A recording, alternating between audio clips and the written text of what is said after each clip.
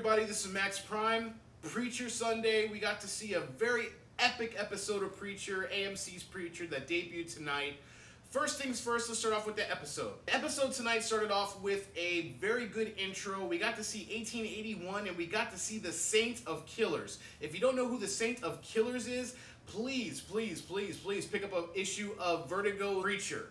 Uh, the Saint of Killers is a comic book character based in Jesse's universe where the Saint of Killer has divine superhuman ability. He is also known as the Angel of Death. Yes, we got to see the teaser of the Saint of Killer. Uh, basically, he will go after Jesse in the comic book because he is sent by heaven to basically eradicate the entity that exists within Jesse's body. We go back to present day and we see Jesse and he's doing baptisms, talking to Tulip. Uh, we got to see a really, really great scene when the actual the other group of killers come to basically extract the entity out of Jesse's body. Yes, that was a gruesome scene as, you know, they sing their little tune to try to get the entity to come about. They have to take out a chainsaw, and all of a sudden Cassidy walks in on them and it's a slaughterhouse. Literally blood everywhere. Cassidy kills them thinking that they're after him. Maybe like, you know, vampire hunters or whatever the, you know, again, the, the associated killers that are after Cassidy.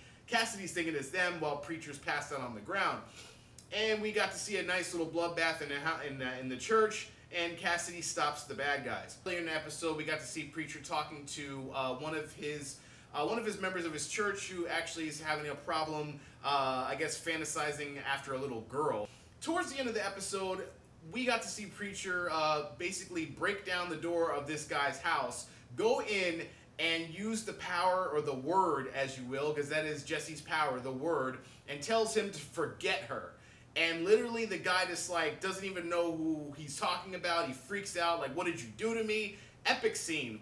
So towards the end of the episode, we get to see another person that actually used to go to Jesse's church, which is uh, this little girl who's actually in a coma.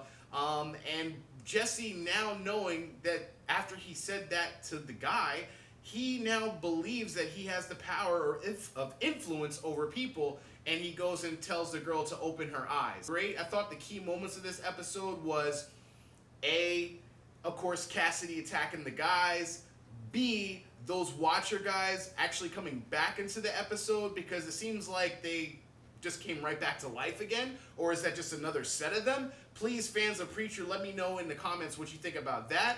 As well as C, Jesse discovering his abilities of the Word. And now that he has that, we've seen in a teaser for next week's episode the possibilities and the possibilities of he now has new abilities and he's totally aware of it. If you didn't miss, if you didn't watch it, please watch it. I'll leave it in the in my comments below or my little description on how to watch AMC's Preacher. I'm Max Prime, and I'm out. Later.